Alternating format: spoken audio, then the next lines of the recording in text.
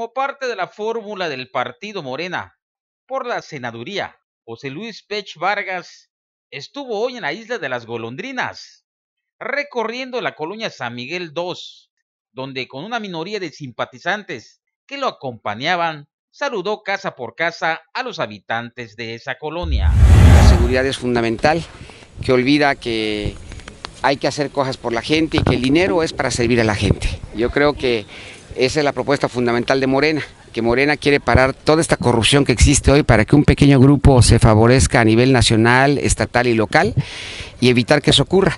En Morena queremos que haya un gobierno que realmente sirva a la gente. No queremos un gobierno que se vuelva un negocio familiar, donde se herede las cosas de padres a hijos, ni queremos tampoco un negocio de locuras o, una, un gobierno de locuras que no atiende a la gente y que se olvida de que deben de estar resolviendo problemas fundamentales para el desarrollo del Estado. De manera tal que estamos como Morena luchando porque este, este sea un gobierno para atender las necesidades de la gente.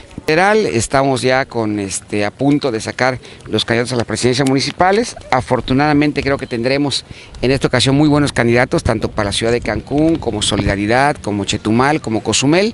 Y esto va a ser muy bueno porque las principales ciudades de Quintana Roo que son ciudades turísticas, van a estar apoyando fuertemente este proyecto de Andrés Manuel. La gente sabe cómo gobernó este hombre, la gasolina también por las nubes, más ustedes lo que tienen que pagar por todo lo que tiene que venir de fuera y que hace mucho más cara la vida aquí en Cozumel. Yo creo que lo que la gente quiere es que haya gobierno que haga bien su trabajo, que lo haga, que trabaje en favor de la gente y que no se dedique a estar privatizando las cosas. Para Canal 10, Jorge Q. Imágenes, Benjamín Carrillo.